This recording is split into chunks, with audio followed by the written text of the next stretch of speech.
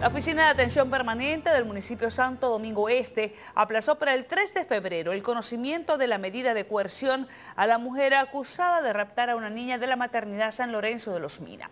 Para ampliar esta información, pasamos al Palacio de Justicia con nuestra compañera Janet Fernández. Adelante, Janet. Buenas noches.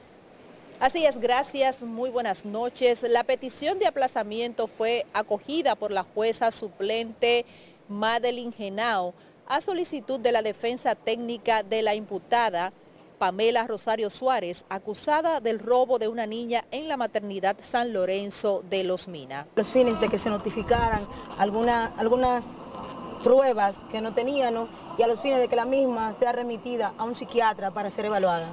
Solicitamos que sea llevada a un psiquiatra porque la misma tiene problemas.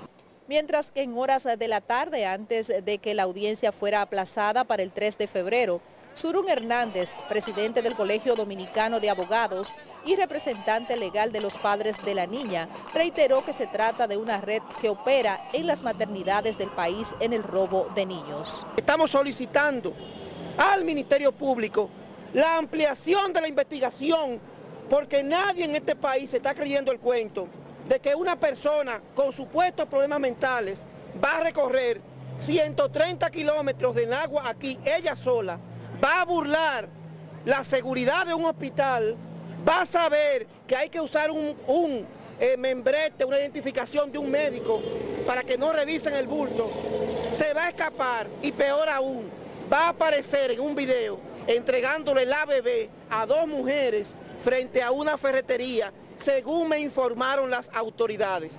También algunos familiares de Geralis Payano y Cristian Guzmán padres de la recién nacida que fue raptada la madrugada del 21 de enero en la maternidad de Los Mina, se apostaron en las afueras de este Palacio de Justicia de Santo Domingo Este. Porque ella estaba loca, ahora está loca, pero para robarse a la niña, compuesto con los doctores, los enfermeros y los puerteros, no estaba loca.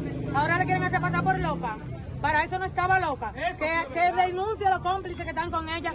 Porque ella no tiene condición para pagar los abogados. Entonces ellos lo están pagando para taparla. La imputada fue trasladada nuevamente a la cárcel de San Luis, donde deberá esperar hasta el conocimiento de la solicitud de medida de coerción en la que el Ministerio Público solicita un año de prisión preventiva. Es la información, retorno contigo al estudio.